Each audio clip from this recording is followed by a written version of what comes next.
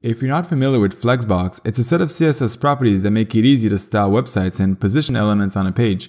And you can use them as a better alternative to uh, CSS floats or table layouts, both of which are dreadful. So we'll start by opening our layout.blade file and we'll go inside of our app container and we'll include layout.header. Next, we'll go ahead and create that uh, layout folder and we'll create a new file called header.blade.php and we'll create a header element and we'll put a container inside of it so we can uh, center it.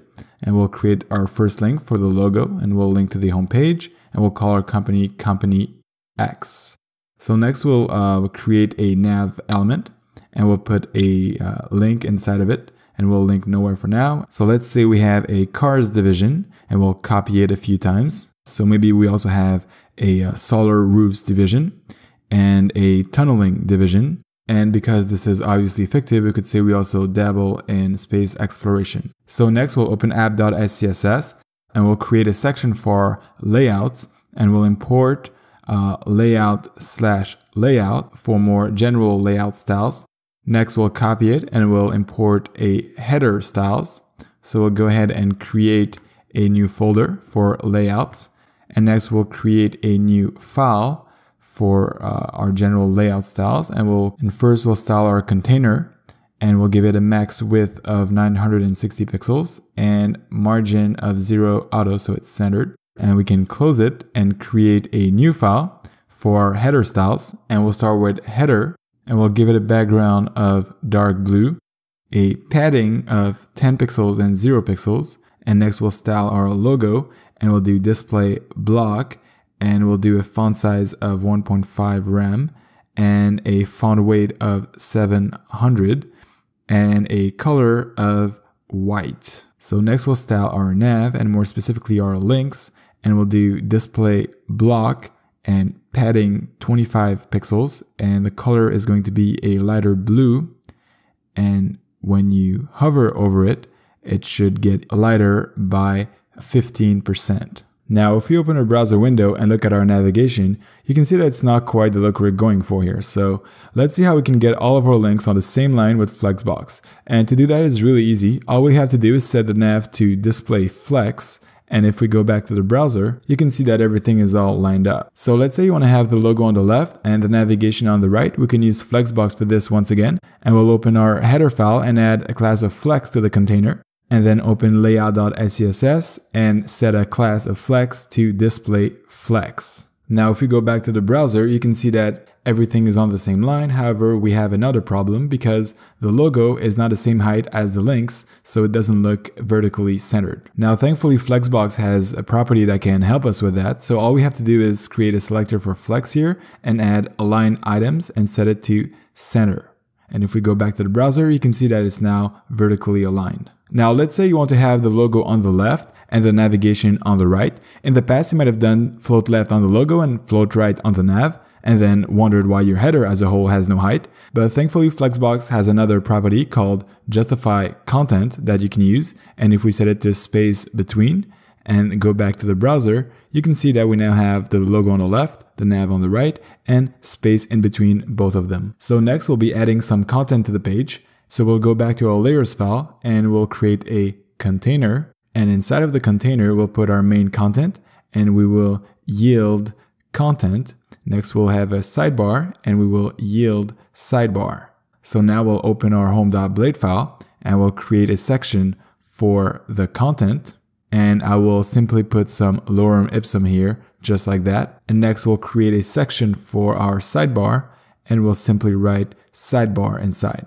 Next, we'll give the sidebar a few styles. So we'll open our layout.scss file and we'll create our selector and we'll give it a padding of 25 pixels, a background of light gray, and a width of 300 pixels. Now, as you can see, everything is kind of stuck together. We need a little bit of space uh, below the header, and we want the sidebar to be on the right of the content. So we'll go back to our header.scss file and we'll add a little bit of margin bottom and we'll do 50 pixels. And next we'll go back to our layout.blade file and we'll add a class of flex to the container And as you can see, we do have the sidebar on the right now, but it's not 300 pixels anymore and it's a little bit uh, tight with the content. So let's go back to our layout.scss file and we'll create a selector for main and set a margin right of 50 pixels. And next we'll go back to our sidebar and we'll set flex shrink to zero and we'll give our main a flex grow of one. Now what that does is tell the browser that we don't want our sidebar to shrink below 300 pixels and flex grow means that we want our main content to fill up the rest of the space. Now as you can see our sidebar is now 300 pixels and our main fills up whatever is left. Now the next thing we'll do is add a page title. So we'll go back to our layout.blade file and we'll yield a page title. And next we'll open our home.blade file and we'll create a new section for our page title. And then we'll create a div with a class of page title and we'll put a container inside and we'll create an H1. And let's say this is a page about space exploration and we could have an H2 subtitle and say all your base are belong to us, which might make sense if you're older than 30. And next we'll open our app.scss file and we'll add another style for our page title. So we'll go ahead and create that file inside of our SCSS layout folder. So we'll do page title and we'll do margin bottom of 75 pixels. We'll do line height of 1.25 em.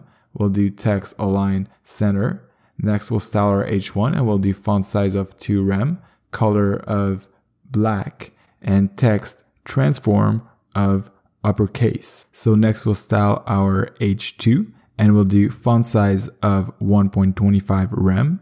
We'll do color of gray and a font weight of 400. So as you can see, we now have a title and a subtitle, but what if we wanted to have the subtitle above the title in the design, but not in the HTML? And one reason for that could be SEO, but there's also other scenarios where you might want your content to display in a different order than your HTML. So let's see how we can achieve that with Flexbox. So we'll open our home.blade file and we'll add a class of flex to the container once again. And next we'll go to our page title.scss file and we'll add flex and we'll do flex direction and we'll use column reverse. So what that does is tell the browser to display the content in a column instead of a row, but also to display them in reverse order, which means the H2 will be on top, therefore we'll add a margin bottom of 25 pixels to it. And as you can see, the subtitle is now above the title, but if we inspect the H1, you can see that in the HTML, the H1 is still above the H2. Now, as a bonus, we'll add some flair to our page title. So we'll do position uh, relative, and we'll add some padding bottom of 50 pixels.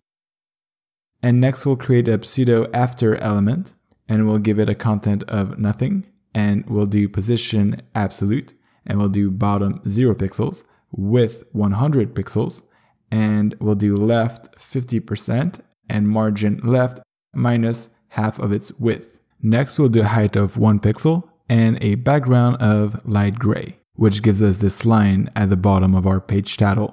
So this will conclude today's video. If you've enjoyed it, please consider liking it and subscribing to the channel so you don't miss the next video. Thank you for watching.